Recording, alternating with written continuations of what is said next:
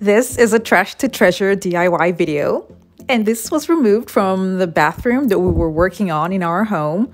And as the workers were about to throw it away, I screamed at them. I'm like, no, no, no.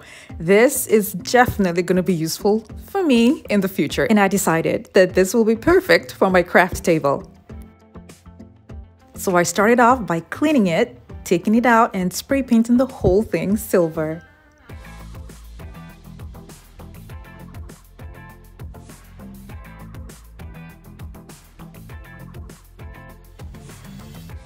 When it was dry, I brought them back in and made provisions for the drawer pull.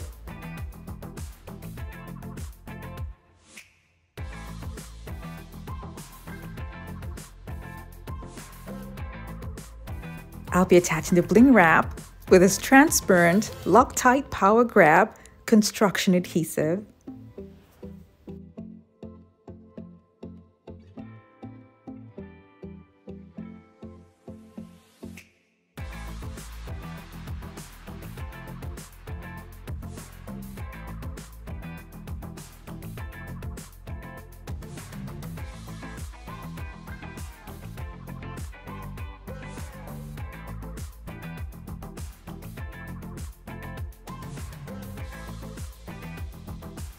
The thickness of the drawer in the middle is too thick for the screws, so I had to make another provision at the top for the drawer pull.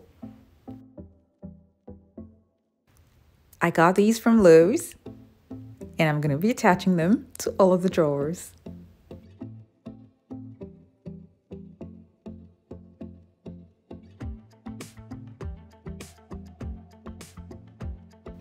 I'll be adding another detail to the drawers and I'll be using this gold tape around the edges.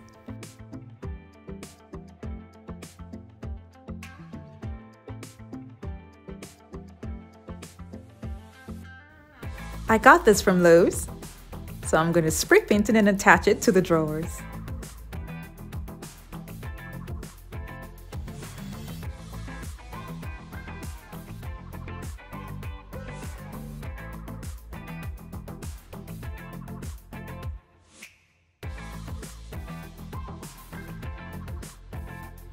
I'll be taking off the top of this old Walmart table that I have used for years now as my work surface. So I'm going to remove just the wood at the top and attach it to the vanities.